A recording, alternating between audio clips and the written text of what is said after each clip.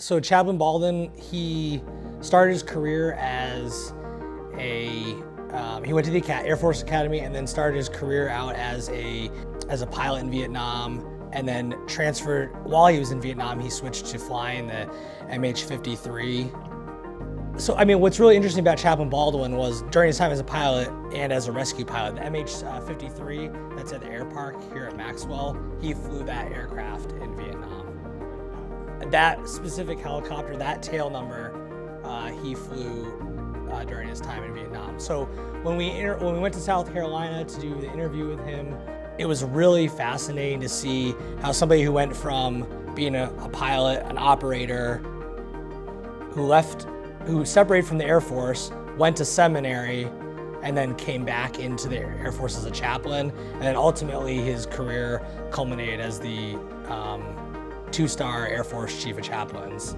Uh, he was at the Pentagon during 9-11. Uh, he was uh, deployed to Saudi Arabia during um, the first Desert Storm. So I mean, he's had a really, really interesting and fascinating career.